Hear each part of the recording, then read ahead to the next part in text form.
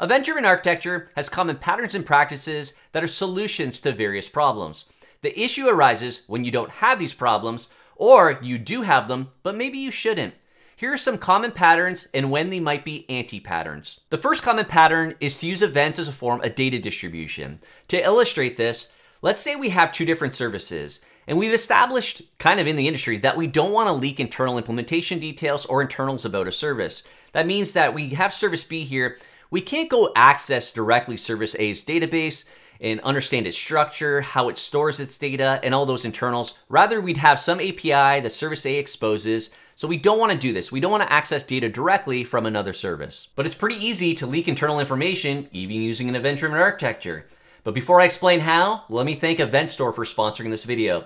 EventStoreDB is a new category of operational database built for event sourcing, CQRS, and event-driven microservices. For more on EventStoreDB, Check out the link in the description. So if you're using the pattern of using events as data distribution, you need to start thinking about are you leaking internals? And you really want to be thinking about do I have inside events or outside events? Inside events that are within my service boundary or outside events I need exposed to other services because you need to be aware if you're leaking internals. So there's different forms of thinking of these events. They can be kind of coarse or more granular. They can be data centric, kind of driven around CRUD, or behavior centric, really derive kind of business events. So the thing is, is when you start thinking about how you're doing data distribution, it often can kind of lead into the mode of thinking about CRUD by entity, which is more coarse, or kind of CRUD by property, which is more granular. So you can think about if you have an entity or some type of document or table within your system and that changes, what type of events are you publishing? Are you publishing a customer changed event or a customer address changed event or the customer city changed event. These are all generally CRUD centric, data centric. So when you're being data centric and thinking about events as data distribution, that's when things like CDC, change data capture, become popular. Is that you're recording these changes from your database, you're publishing these to some topic, event stream, whatever the case may be, and then you have other services consuming these events so that they can update their own local copy of that cache or their own data but you're using these events or things like CDC as a form of data distribution. So when does this pattern become an anti-pattern? It's really in two forms for me is that if you end up leaking internal information, because this information really isn't explicit if you want to be, if that's what you're intending, to be on what actually happened. You have these data change events, but why did the data change? If you're trying to infer that, then that's when you really want to be explicit about the business events that are occurring, not these data change events. Secondly, are you using that data for reporting purposes or to denormalize data, to aggregate data from various sources? That may be a valid use case, but be aware that if you're using something like CDC or ENCODE to do this, that you may be leaking internal implementation details. Now it's really a contract that if you want to start changing those underlying pinnings of how you structure that data, that you need to keep that as the same because now it's a contract for other consumers. So be aware of leaking internals and be aware of whether you want to you're really being implicit when you may want to be explicit about the event. Another common pattern is trying to shove and turn everything into an event when it's really not. There's really kind of two forms of messages that we have, which are commands and events. Events are something happened. We want to indicate specifically something happened, something's occurred in the past. They're generally owned by the publisher. So who's publishing an event? We have a service boundary. We want to tell other services or ourselves something happened. So the, the event is owned by who's publishing it. There may be zero or many consumers. Maybe nobody cares about that event. Maybe there's hundreds of consumers that care about uh, that event. And the only that service boundary that owns that event, it's the one that's going to be publishing it. That's the only place that's going to be publishing that event. And as mentioned with naming, it's in the past tense. Not everything's an event though. You do have things that are commands where you want to invoke behavior. You want to request something to happen. It hasn't happened yet. You're requesting it to happen. So you want to invoke behavior. It's generally owned by the consumer who's actually consuming the event. That's who's actually owning that contract of what that command is. There's only one consumer for that command. There's only one thing that's going to actually process, handle that command. But there could be many different senders preferably within that same logical boundary. And generally, it's a verb because you want to invoke something. Don't force events. If you, I understand if you have the infrastructure, you have various tooling to handle pub sub, to handle events, but not everything is an event. But things can get a little gray and a little dicey because if you think of a request, okay, that can be a command, but something like requested, well, that's an event.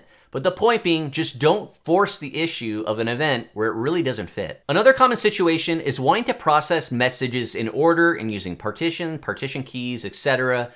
as a solution to this.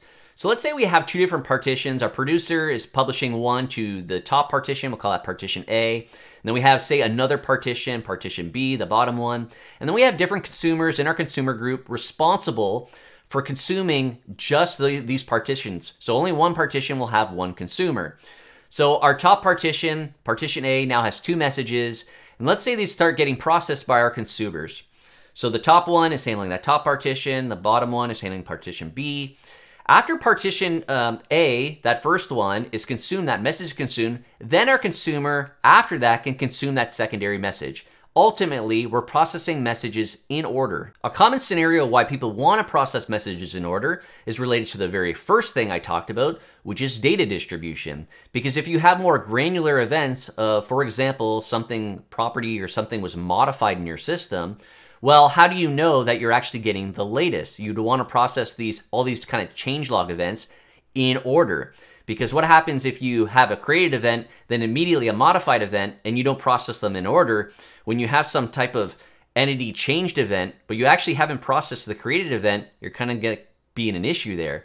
So that's why sometimes why people want to process messages in order. But I go back to the question, is that a problem that you should have because you're using this as a form of data distribution?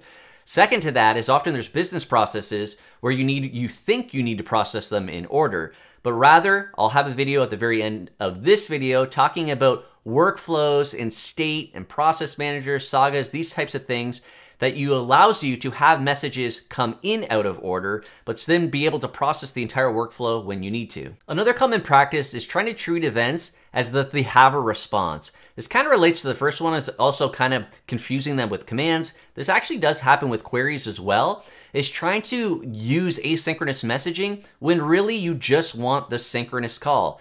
It's okay to have that temporal coupling. It's fine. You want to request data, get the data back immediately rather than, again, trying to force events into the mix. I've seen this a lot with messages and queues, but it also has been happening with events where you have one service sending a particular message. You have that consumer of whatever that event is, kind of treating it as a command, really but then providing a response via another event or some type of request reply asynchronously that then gets back to the original requester that it consumes that event, that reply. It works. I get it. It's asynchronous still. You're decoupled temporally at least. But oftentimes you don't need to go through the this rigmarole Yes, event architecture is great, but sometimes you just have that temporal coupling. It's fine. Make a request, make that request response, RPC, whatever it is that you need to get data. It's just a query. A lot of these patterns have utility. The problem arises and where they kind of become anti-patterns is that you're using them kind of in a square peg, round hole situation here, where you have the hammer so everything becomes the nail. It's just understanding the context of when they're useful. Using events as data distribution for CDC within your local boundary, sure. you you have to compose data for reporting, sure. Trying to infer them because they're you're trying to get something explicit out of it, not so much. Linking internals, not so much. Using order processing, decreasing throughput because of it, when you really don't need order processing, can become an anti-pattern. There's just all these things that you can, they have utility, it's just a matter of really understanding the context and if you really do have that problem. The kind of the analogy that I often like to use is you're traveling, you're walking from point A to point B, and you're walking through the mud all the time. So your answer to that as well, I need better shoes or I need boots. Maybe if you look to your right, there's a sidewalk that's not muddy and you know don't need boots at all. So it's just really kind of looking at the landscape, looking at your context. Not everything is a pattern, not everything is an anti-pattern. It depends on your context. And if you really do have that problem, or if you actually don't need to have that problem at all, and so therefore you don't need the pattern as a solution. I actually have a bunch more of these event-driven architecture patterns, anti-patterns, and kind of context. So if you've been enjoying this video, let me know in the comments and I'll create another video kind of explaining more of these. If you found this video helpful, or you just want to talk to other people about kind of these patterns, what you're doing, you have questions, or you want to provide guidance to others, you can join my channel and get access to a private Discord server.